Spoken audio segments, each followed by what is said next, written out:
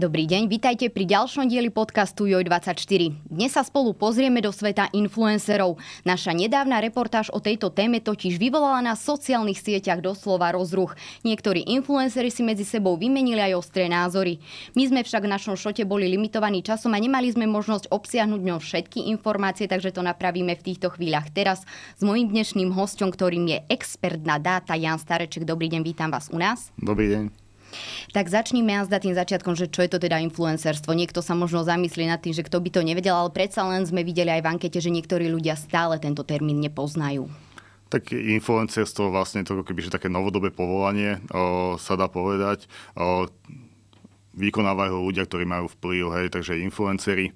V nejakej podobe tu už bolo o, už veľmi akoby, že dávno. Hovorí sa, že prví takí influenceri boli dokonca, že pánovníci, ktorí ovplyvňovali akoby, že svojim konaním, názormi o, svojich, svojich poddaných.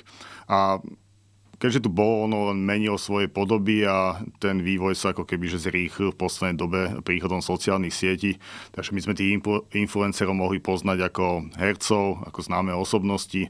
A samozrejme, že keď prišli sociálne médiá, tak ako keby o, už nebola tá bariéra toho, že influencerom môže byť známy človek, ktorý je niekde v televízii, ale vlastne akoby, že kdokoľvek to mal o, si založil profil, získal dostatočne množstvo followerov, tak sa mohol stať známou osobnosťou, ktorý druhý sledovali a vlastne ako keby, že v dnešnej dobe je už influencer o, o, chápaný skôr akože v zmysle o, nejakej osobnosti, ktorý o, má vplyv na sociálnych sieťach. Áno, spomína sa túto slovo vplyv, čo znamená v angličtine vlastne to influence. Vráťme sa do tej histórie, ako ste mysleli to, že ovplyvňovali napríklad tí králi a panovníci už vtedy tých ľudí.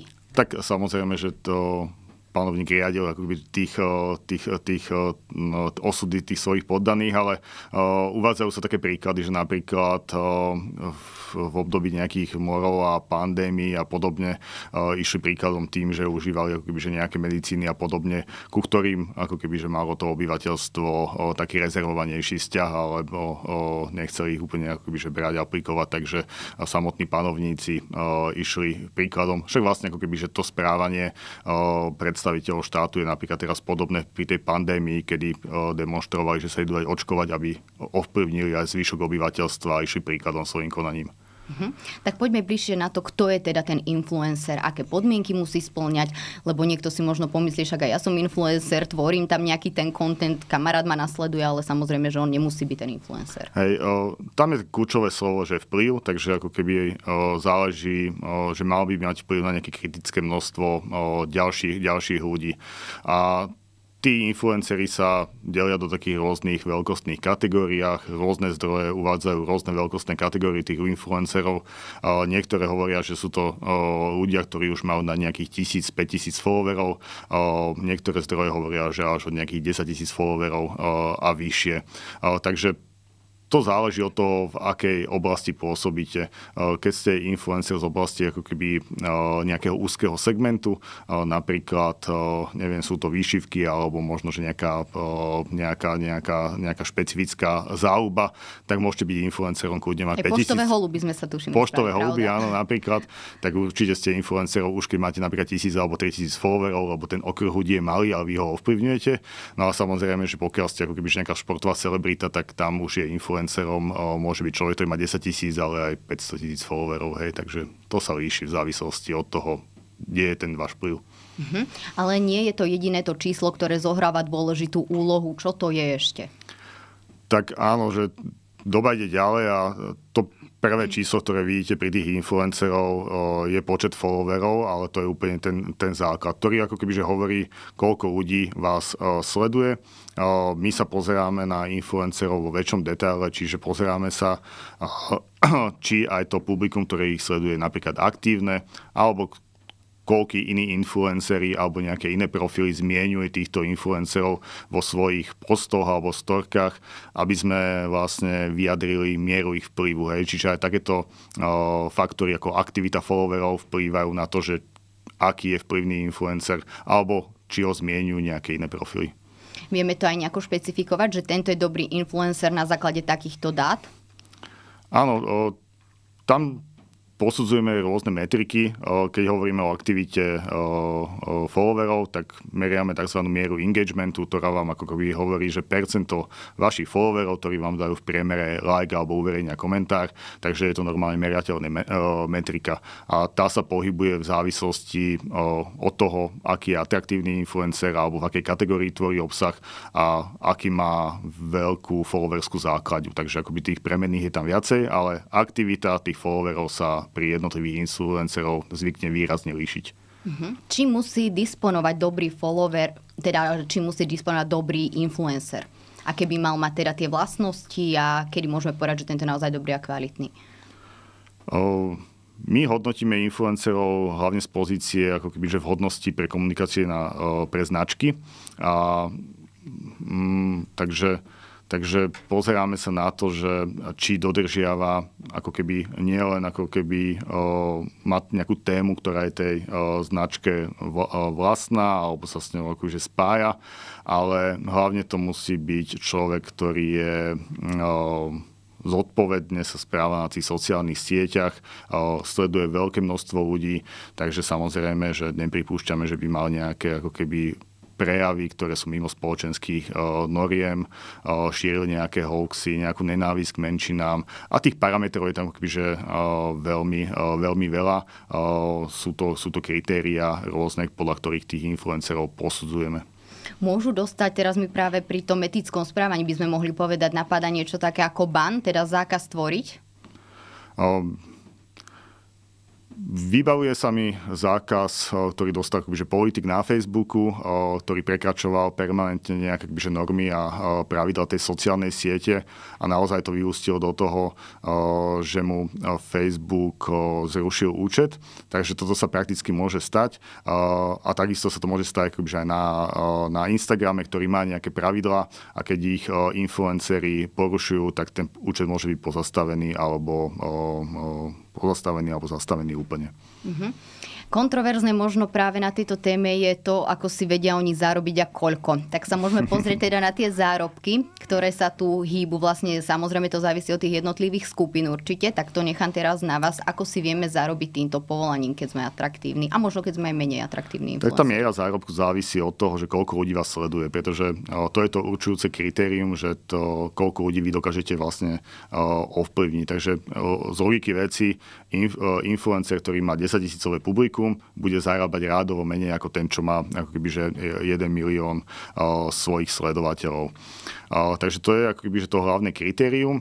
A sú opäť to, akože keď to nejako zjednoduším, vlastne keď sme mali tú reportáž, tak tam odznela tá horná hranica, kedy ja som hovoril o um, influenceroch, ktorí majú milión eur a, a vyššie a vlastne už na Slovensku sú možno traja, ale vo svete ako keby, že ich viacero a tí môžu zarábať 10 tisíc eur akože vyššie, ale samozrejme na Slovensku tá realita uh, sa pohybujeme v úplne iných, uh, iných, iných hraniciach, čiže povedzme ako keby, že od tých 10 tisíc uh, do tých 100 tisíc followerov je to také cenové rozpetie, že od nejakých 200 eur do nejakých 1000 eur.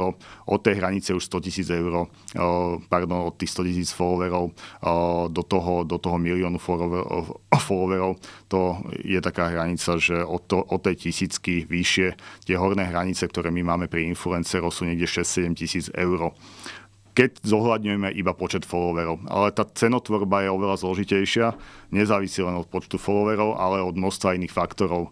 Takže, Môžeme no, sa tak... na to pozrieť pre tých, ktorí by to určite zaujímalo, pretože veľa ľudí možno tvorí práve kvôli tým peniazom, mm-hmm. okrem toho, že ich to baví. Tak ako som povedal, že počet followerov je iba taká základná metrika, ktorú vidíte. Pri tom influencerovi my ideme ďalej, takže pozeráme sa práve na to, ako sú aktívni títo followery, pretože to určuje aj v priemere do, do aké, akému počtu tých followerov vlastne sa tá správa alebo ten post alebo tá storka na tom Instagrame alebo na sociálnych médiách zobrazí, takže určite tá cena závisí aj od aktivity followerov, influenceri, ktorí majú aktívnejšie publikum, si môžu z nášho pohľadu žiadať ako keby, že za to nejakú prémiovú prírážku. Takisto sa my špeciálne pozeráme na, na influencerov, ktorí majú vysoký počet zmienok, pretože práve ten počet zmienok vám hovorí, že áno, ostatné profily uznali, že ty si zaujímavý, odkazujú na teba a o, zvyčajne ako keby, že je tam nejaká príražka za nejakú prémiovosť. Napríklad pri profiloch, ktoré zvieňujú viacej média, tak vidíme, že to sú profily, ktoré sú mediálne známe, sú to celebrity, sú to herci, ktorí okrem známosť na Instagrame alebo niekde na sociálnych médiách, sú populárni aj v televízii, môžu to byť herci Národného divadla a samozrejme za toto si treba priplatiť a už vám to úplne nepadá do tých presných nejakých akoby, tabulkových, alebo nemusí spadať do tých presných akoby, tabulkových rozmedzí, ktoré som akoby, povedal na začiatku. A kto je taký najžiadanejší na tom našom Instagrame? Poďme si nejaké zaujímavé mená povedať. no, uh, záleží samozrejme, že nie je na to jednoznačná odpoveď. Uh, tí influenceri tvoria obsah v rôznych kategóriách uh, pre rôzne vekové skupiny, takže odpovedať na otázku, že kto je najžiadanejší, je veľmi, veľmi ťažko a to je... Tak také profily, ktoré vám tam často vyskakujú, alebo teda rezonujú možno práve, keď sa pozrieme, ak začneme možno z druhého konca, tie, ktoré sú veľké obsahové kategórie možno sledované a možno na základe nich sa môžeme približiť teda k tým profilom. O, dá sa povedať, že vo všeobecnosti o influencerov, ktorí už majú na tých 100 tisíc followerov, ale aj akoby, že tie nižšie hranice je pomerne veľký záujem o, značiek. O, závisí aj od influencera, ako tomu prístupí. O, či uzatvorí a je ako keby, že volá jeho strany uzatvárať spolupráce s veľkým množstvom značiek, alebo si to ako keby, že drží na nejakých zopár značkách a vystupuje skôr v roli ambasádora. Hej, taký typický ambasádor je napríklad Saifa, má 4-5 značiek a vlastne týmto sa kontinuálne venuje a sem tam zoberie nejakú že spoluprácu. No a potom sú rôzni iní akoby, že influenceri, napríklad no, nebudem akoby, že menovať alebo nenapadať na konkrétne meno, ale skrátka, tí spoluprác majú viacero, aj niekoľkokrát do mesiaca môžu propagovať rôzne kozmetické značky alebo fashion značky a nie je to ako keby už taká dlhodobá spolupráca ambasádorského typu, ale je to skôr akoby také krátkodobé spolupráce, kedy sa promujú rôzne produkty, služby, novinky a tí spoluprác majú skrátka viacej. Môžeme nájsť aj nejakú kategóriu, kde zahrňujeme ľudia, ktorí sem spadajú, ale nezarábajú? Napríklad presne ako nejakí novinári, alebo že ich nepustí možno nejaké povolanie, respektíve zákon? Novinári sú typickí mm-hmm. a politici, politici samozrejme, že to sú, to sú profily, ktoré sú, majú veľké, veľkú početnosť publika, ale z povahy veci vlastne, že nemôžu uzatvárať alebo nechcú uzatvárať komerčné spolupráce. Uh-huh. A pozrime sa teda aspoň na tie nejaké obsahové kategórie, teda nie mena, ale teda čo tých ľudí teda láka najviac na tom Instagrame alebo týchto sociálnych sieťach, čo ich najviac baví a vyhľadávajú si.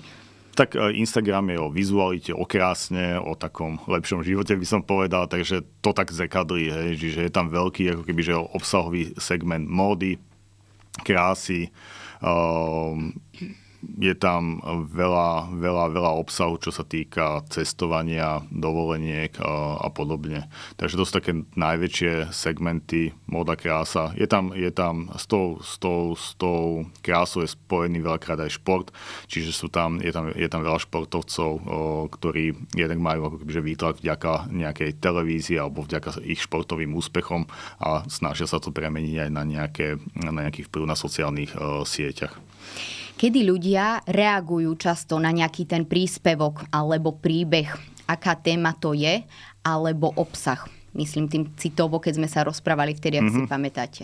Keď som hovoril, že to Instagram je o vizualite a podobne, tak o, vidíme, že veľmi populárne sú ženské profily, o, čiže to, kde ako keby je tam tá ženská estetika a je tam veľa ako keby, že sledovateľov nejakého mužského akože pohľavia, takže určite krása fiči, či už z pohľadu ako keby, že to, toho mužského publika, ale, o, ale aj z pohľadu keby, že to, o, žien, čiže o, toto je určite akoby, že téma, ktorá je tam prítomná, ale samozrejme, že nie je to o nejakej ženskej kráse.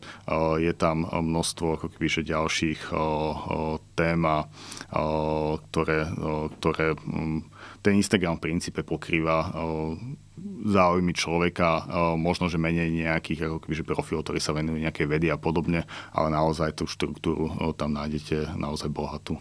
Myslela som, čo sme sa rozprávali, že napríklad like alebo srdiečko ľudia často reagujú práve napríklad Aha, pri nejakých podujatiach alebo príležitostiach výnimočných, kedy vlastne to publikum reaguje možno viac ako inokedy. Áno, samozrejme, no tak, že to vidíme v tých dátach, že o, sú tak veľmi lajkované také životné momenty, keď sa niekomu narodí dieťa, je tam svadba a podobne. Keď tam nejaký úspech, vidíme, vidíme športovcov, ktorí keď dosiahnu nejaké, nejaký výnimočný úspech, tak dokážu naraz z pohľadu počtu followerov v radoch 10 tisícov až 100 tisícov, takže ten úspech a také zlomové životné momenty tam určite sú po tej práve ženskej kráse alebo spolu s ňou na ne reagujú veľmi ľudia. A potom ako keby, keď to vyberiem z takéhoto komerčného pohľadu, tak sú to určite že súťaže. Súťaže dokážu mať veľmi vysoký engagement, a zapája sa veľa, veľa followerov do týchto súťaží, čiže už či len komentovaním alebo lajkovaním príspevkom, lebo tak je vlastne akože nastavená tá mechanika. Takže výnimočné udalosti, športové úspechy, ženská krása. Máte zmapované dáta na slovenskom aj českom trhu. Vieme tieto dva trhy medzi sebou porovnať? Či sú úspešnejší tí naši alebo tí českí influenceri? Tak český trh je dvojnásobný, ale myslím si, že to influencerstvo a úroveň tvorby obsahuje pomerne dobre rozvinutá a porovnateľná v obidvoch krajinách. Tým, že český trh je dvojnásobný, tak aj tie influencerské profily tam môžu byť alebo sú väčšie a cieľia na väčšie publikum ale mm, neviem odpovedať eh, na otázku, že či je kto úspešnejší alebo menej úspešnejší. Vidíme, že eh, keď už sme pri tej ženskej kráse toľko, tak eh, u nás nejaké 3-4 profily, ktoré prekročili miliónu hranicu a vlastne už prekročili územie toho Slovenska a naozaj cieľa na medzinárodné publikum a majú 4 alebo 4,5 milióna followerov a vlastne ako keby, že už to nie je o Slovensku, ale už, je, už majú followerov z celého sveta. Vieme porovnať možno v Čechách, či majú a koľko takýchto megaprofilov veľkých? Nemám úplne akoby, toto porovnanie, takže to, ale z logiky veci sú to krajiny, ktoré sú blízko seba, takisto v Čechách sú pekné ženy, takže predpokladám, že tam tiež boli pok- o, pokorené tieto miliónové, miliónové hranice a sú to typicky nejaké modelky alebo nejaké také celebrity. Uh-huh. Môžeme sa pozrieť aj na tú druhú stránku sociálnych sietí, ku ktorej patrí taktiež aj nákup týchto followerov. Ako funguje vlastne toto, by som povedala. Niekto si to kúpi s tým, že chce zarábať a myslí si, že mu to prinesie osoch, ale v konečnom dôsledku si aj uškodí. Tak nákup followerov je taký ako keby čo ne, nešvar Instagramu. Je tam porovnaní s ostatnými sociálnymi sieťami väčšie percento profilov, ktoré nie sú spojené s nejakou osobou. Sú to také, že sa hovorí, že fejkoví followery. Takže aké percento ich je, alebo akože ťažko, ťažko povedať. A ono to bolo taký trend, ktorý bol dosť výrazný akože v minulosti. Mám pocit, že v poslednom období, my ten Instagram sledujeme nejaké posledné 3 roky, tak uh, už uh, ten, uh, tento ako keby trend je na ústupe, ale stále sa nájdú uh, influenceri, ktorí si chcú nakúpiť publikum aby vyzeralo, e, že majú väčší počet followerov, aby boli zaujímavejšie pre e, značky a pre ich spoluprácu. Ale treba si uvedomiť, že oni keď tých followerov nákupia, tak sa stáva, e, tak sa stáva to, že vlastne tá ich aktivita tých followerov klesne, čo znamená, že potom im klesne aj dosah ich príspevkov, čo v praxi znamená, že keď dáte post alebo nejakú storku, tak ju uvidí ešte menší počet ľudí ako predtým. Takže tým nákupom followerov síce opticky zvýšia svoju atraktivitu, že áno, ja mám 50, 100, 200 tisíc followerov, ale ich aktivita klesne a my sa nepozeráme len na počet followerov, ale práve na aktivitu. Takže keď vidíme, že má v profil nízku aktivitu, to znamená, že okolo nuly, tak vidíme, že, to, že to asi je tam nejaká vyššia pravdepodobnosť toho nákupu followerov. Ako to zistí taká firma, keď chce niekoho osloviť a vidí napríklad, že má vysoký počet followerov a nevyzná sa v tejto problematike, ako oni zistia, že tento profil je kúpený, alebo teda polovica influencerov, napríklad, teda polovica tých nakupujúcich je kúpená? Sú rôzne nástroje vo svete, ktoré hodnotia, že zloženie toho publika, či je zdravé, nezdravé, aké percento vlastne týchto followerov môže mať nejaký podobný charakter. My sa tiež venujeme tejto téme, lebo je to akoby dôležitá téma. Um, Nemáme na to jednoznačnú odpoveď. V princípe my sa pozeráme hlavne na tú aktivitu followerov. To znamená, že influencer môže mať nakúpených followerov a pokiaľ je v priemere aktivita týchto followerov akože vysoká, tak vás to až nemusí tak zaujímať, lebo napriek tomu, že má 5% nakúpených followerov, tak uh, pred uh, to jeho portfólium celkové followerské je zdravé. Ale v tých dátach napríklad vidíme, že na tých priebehových grafoch, ako narastajú počty followerov, že ide o také jednorázové skoky, hej.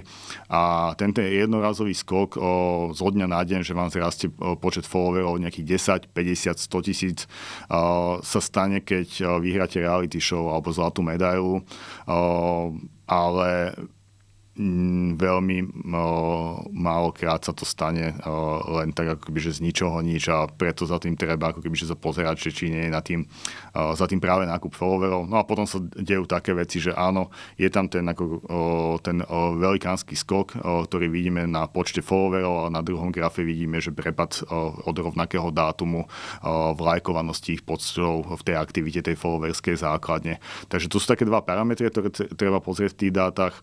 No a vie, akože veľmi ťažko sa to zistuje pri takých už veľkých profiloch, ale aj nejakým takým manuálnym hlbším preskrolovaním followerskej základne pri tom influencerovi viete sa pozrieť na tie profily, že aký majú charakter a ako vyzerajú a tieto profily followerské, ktoré sú nakúpené, tak majú také podozrivé znaky, hej, takže, takže aj podľa toho viete zistiť, že alebo potvrdiť si uh, tie domnenky, že tie, tí followery ako keby, že nebudú úplne, uh, úplne že organicky získaní.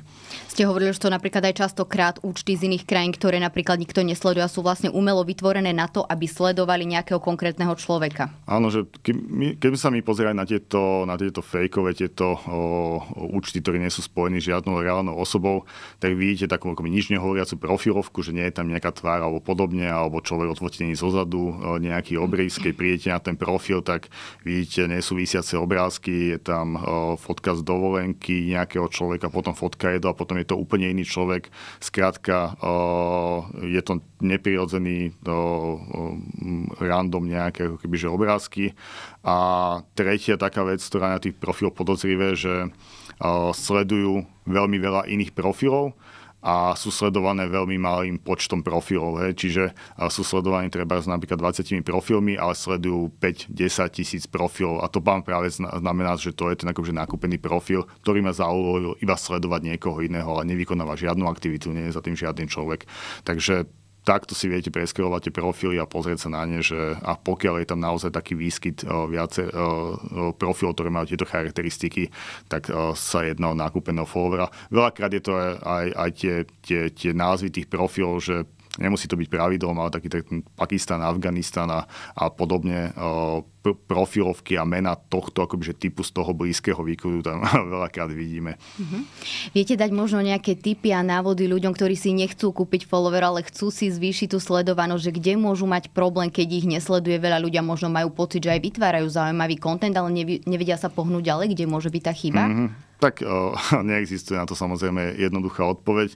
O, my keď sme sa pozerali v dátach, vlastne, že ktoré profily rastú najrychlejšie, tak sme tam videli tie profily, ktoré dobre uchopili Reelska, čiže videa. Mhm. Instagram menil o, niekedy o, minulý rok, myslím, že niekedy v lete to bol algoritmus, kedy oveľa väčší priestor dal týmto videám, aby dohnal ako keby nejakú ra, rýchlejšie rastú sieť o, TikTok. A tí influenceri, ktorí dobre uchopili videá a prácu s nimi, tak vlastne akože ten algoritmus ich posunul a práve ako keby, že profily, ktoré boli založené na ženskej kráse, tak dokázali vystrieť do toho sveta a pokoriť ako keby, že hranicu z nejakých 100 tisíc followerov, tak dokázali sa vyšplhať behom pár mesiacov dokonca na milión followerov. Takže len kvôli tomu algoritmu a kvôli tomu, že ich začal sledovať viacero ľudí. Ale nemusí to byť len o ženskej kráse, môžu to byť naozaj nejaké vtipné, humorné skeče a, a skrátka to video to je ako keby keby v tých uplynulých mesiacoch sa to na tom Instagrame veľmi skloňovalo, že prestali sa viacej, ako keby, že ten algoritmus ukazovať tie fotky a väčšiu váhu dáva na videa. Mhm, keď už spomíname aj tú inú platformu, tak taktiež ako nejaký výrobok alebo hoci čo má svoj životný cyklus, tak aj ten Instagram už vlastne ten svoj pík, ten svoj vrchol dosiahol. Boli to aj iné siete, prichádzajú ďalšie. Čo sa bude diať teraz? Um, dosiahol, on ešte stále rastie, ale rastie menej, ako to bolo v minulosti. Takže sledujeme to ako, ako aj na tom Facebooku, že to, o, tam už vlastne ten počet followerov alebo teda nových užívateľov že stagnuje a už skôr na, nadchádza akože odliv, ako, to, ako, ako starnú a už veľmi ťažko tá sieť získava nejakých nových, nových užívateľov. Tí idú na Instagram alebo idú na TikTok a práve TikTok je akože platforma, ktorý od posledné 2-3 roky naozaj extrémne rastie v rádoch desiatkách percent ročne. Myslíte, že je nejaká taká predikcia do budúcna, keď sa možno do tej širšej budúcnosti pozrieme, že ten Instagram nebude nikdy už zarábať, že v podstate tak vymizne?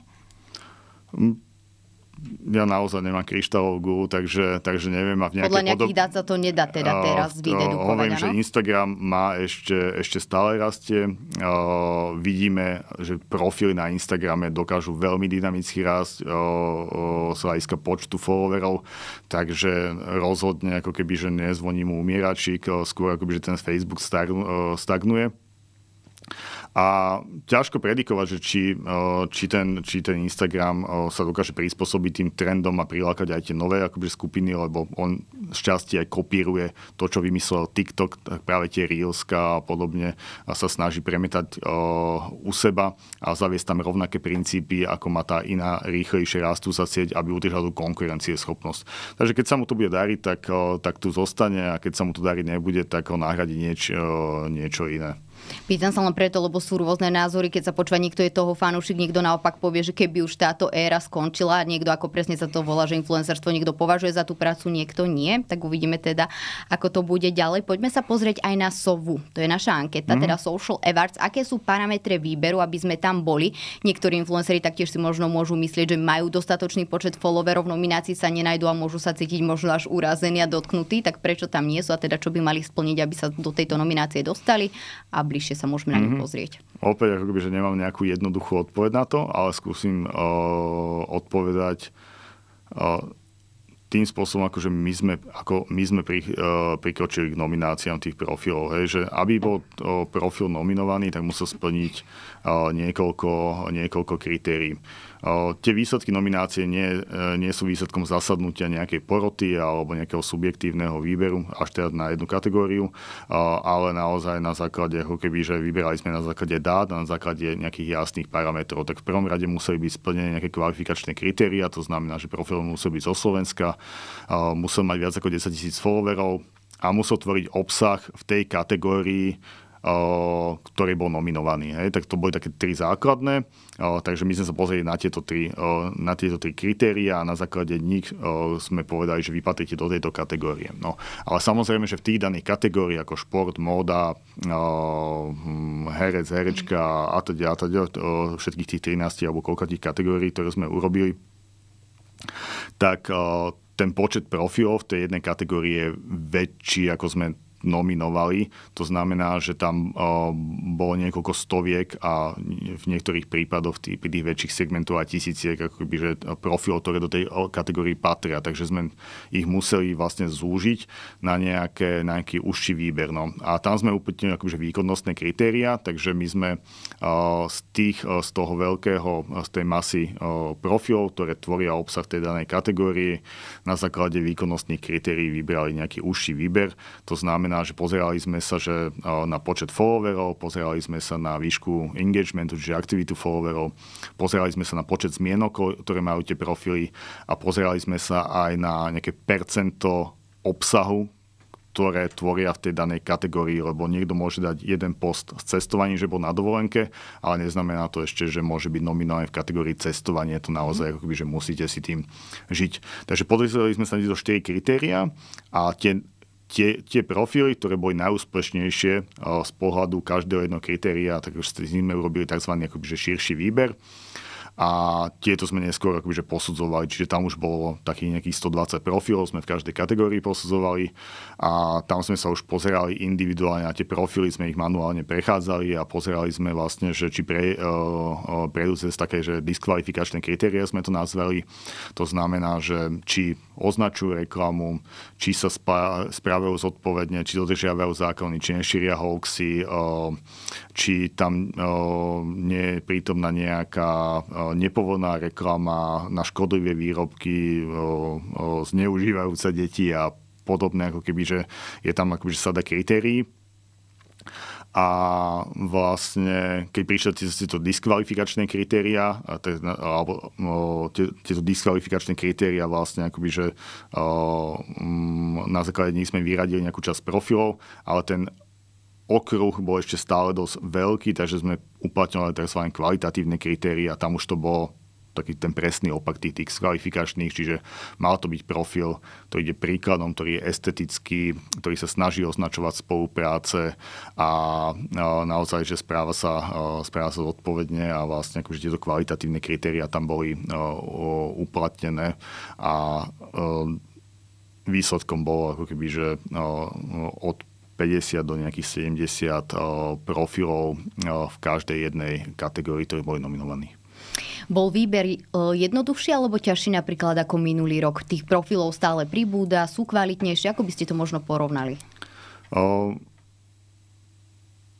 každý rok je to ako keby o, porovnateľne obťažné. Akože máme čoraz väčšiu a väčšiu expertízu, snažíme sa ten výber zdokonalovať, nehovorím, že tam ako keby že nemôže nastať uh, nejaká chyba, že my dostávame od influencerov uh, spätnú väzbu uh, v prípade, že ako keby že zaznamenáme nejakú chybu alebo nás upozornia, že nejaký profil tam mal byť, splňa kritéria, nie je tam, tak snažíme sa nastaviť tie kritéria, aby boli ako keby že lepšie.